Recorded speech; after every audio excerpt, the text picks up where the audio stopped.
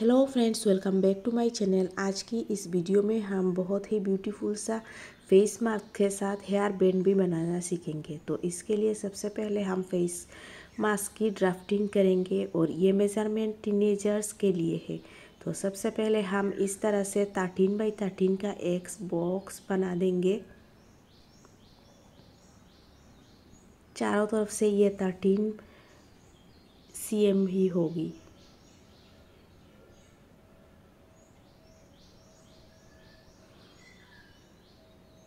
इस तरह से thirteen C M thirteen C M box बना देने के बाद हम इस पर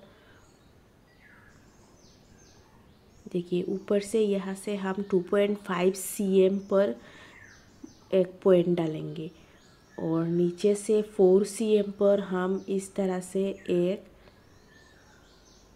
पॉइंट डालेंगे। और नीचे की तरफ़, नीचे से ऊपर तक भी हम 2.5 सेंटीमीटर पर इस तरह से पॉइंट डालेंगे। सेम ऊपर भी हम 2.5 सेंटीमीटर पर पॉइंट डालेंगे।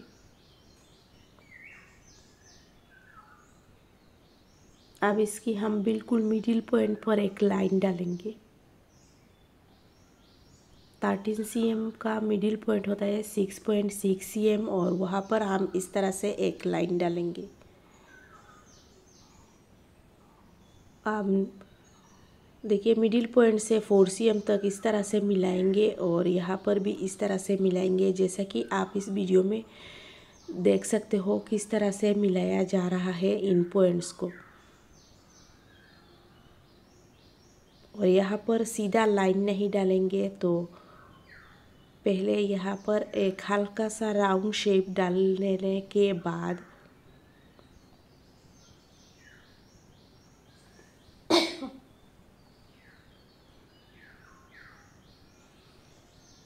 यहाँ पर हम इस तरह से एक कार्ब लाइन डालेंगे। तो ये हमारी मास्क की डफरिंग हो गई। आप आप इसकी स्क्रीनशॉट ले सकते हैं और इसी में से आप अपना ड्राफ्ट भी बना सकते हैं। इस तरह से आप यहाँ की स्क्रीनशॉट ले लीजिए और ड्राफ्टिंग के लिए रेडी है। अब हम इसे कटिंग कर लेंगे। तो इस तरह से कटिंग करने के बाद कपड़े में से हम same to same four piece निकालेंगे। इस तरह से फोर पीस निकाल लेने के बाद हम और भी इस तरह की चार स्ट्रेप्स चाहिए होंगी जिनकी मेज़रमेंट है four centimetre by twelve centimetre. और ये दो बड़े स्टेप्स है, जिनकी मेज़रमेंट है four centimetre by fifty five centimetre length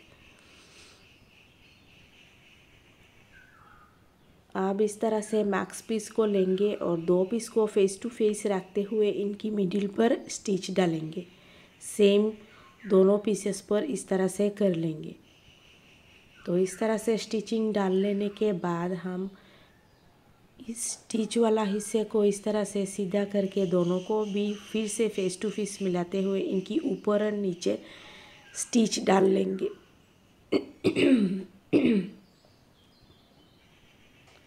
और ये छोटी वाली स्टेप को भी मिडिल पर इस तरह से फोल्ड डालते हुए एक स्टिच डालेंगे और इसे सीधा कर लेंगे। सारे छोटे बड़े स्टेप्स जितने भी हैं, इन सबको हम इस तरह से स्टिच डालेंगे और इनको सीधा कर लेंगे। इस बड़े स्टेप को भी हम इस तरह से फोल्ड डालने के बाद यहाँ पर एक तिरछा लाइन डालेंगे ताकि इसकी जो नोक वाला हिस्सा है, वो कुछ शार्पनेस आए। तो इसे सीधा इस तरह से देखिए, मैंने स्टिच डाला हुआ है और इसे इनको सीधा करेंगे। तो इस तरह से सीधा कर लेने के बाद मास्क को भी हम सीधा करेंगे। सीधा करने के बाद आप इस पर एक बार प्रेस कर लीजिए। और ये मेज़रमेंट मैंने टीनेजर्स की एज के लिए ही बताया है। आप बड़े साइज़ के लिए, आप लार्ज साइज़ के भी बना सकते हो। तो इस तरह से देखिए, इस हिस्से को हम अंदर की तरफ़ फोल्ड डालेंगे और बड़े वाले स्ट्रिप को भी सेम वैसे ही फोल्ड डालेंगे और इनको इस तरह से रखते हुए इनके ऊपर एक एक स्टिच डालेंगे। तो सेम दूसरी तरफ़ भी हम इसे कर लेंगे।